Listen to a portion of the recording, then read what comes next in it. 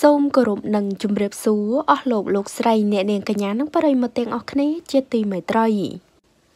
កូនក្រមុំតេស្តវិជ្ជមានជំងឺ Covid-19 ចំថ្ងៃរៀបការ កូនកំឡោះសុកចិត្តតាមទៅរៀបការដល់មន្ទីរពេទ្យដោយស្លៀកឈុតការពារមេរោគទាំងអស់គ្នា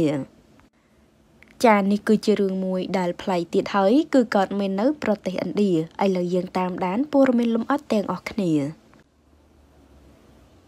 ប្រទេសឥណ្ឌា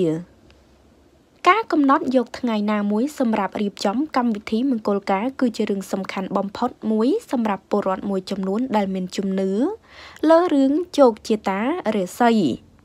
ព្រោះពួកគេយល់ឃើញថា បើពួកគេបានរៀបការចំថ្ងៃលៀបថ្ងៃហេនោះជីវិតរបស់ប្តីប្រពន្ធក្រោយរៀបការនឹងមានសំណាងល្អរកស៊ីមានបានពេញមួយជីវិតផងដែរ ដោយសារតែការឲ្យតម្លៃចំពោះថ្ងៃរៀបការស្របពេលដែលប្រជាពលរដ្ឋទាំងអស់នៅលើភពផែនដីនេះកំពុងតែភ័យខ្លាចនឹងជំងឺ Covid-19 នោះ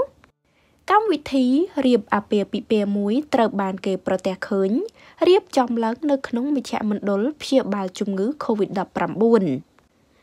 ខណៈកូនក្រមុំនិងកូនកំឡោះសុទ្ធតែបានពាក់ឈុតសម្រាប់ការពារមេរោគជំនួសឲ្យឈុតសម្លៀកបំពាក់ប្រពៃណីដែលកូនកំឡោះកូនក្រមុំទូទៅ ធ្លាប់ប្រើប្រាស់នាពេលកន្លងមកបើយោងតាមសារព័ត៌មាន World of Sports បានឲ្យដឹងថាហេតុការណ៍នេះបានកើតឡើងនៅក្នុងមជ្ឈមណ្ឌលធ្វើជាតាល័យស័កមួយកន្លែងនៅក្នុងរន Rajasthan ភាគខាងជើងនៃប្រទេសឥណ្ឌា កាលពីថ្ងៃអាទិត្យទី6ខែធ្នូកន្លងទៅថ្មីថ្មីនេះ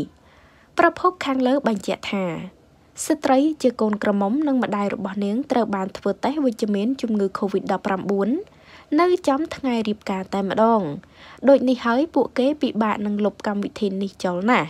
បន្ទាប់ពីបានធ្វើតេស្តវិជ្ជមានជំងឺ Covid-19 ភ្លាម ស្ត្រីជាកូនក្រមុំនិងម្ដាយត្រូវបញ្ជូនទៅមជ្ឈមណ្ឌលព្យាបាលជំងឺ Covid-19 ភ្លាម ដើម្បីការពារកុំឲ្យចម្លងទៅអ្នកផ្សេងទៀតហើយពេលនោះខាងគ្រួសារកូនកំឡោះក៏សម្រេចសុំការអនុញ្ញាត ពីអាជ្ញាធរចូលទៅរៀបចំកម្មវិធីមួយចំនួនទៀតដើម្បីឲ្យពិធីមង្គលការបញ្ចប់ទៅគ្រប់ជ្រុងគ្រប់ជ្រោយតាមប្រពៃណី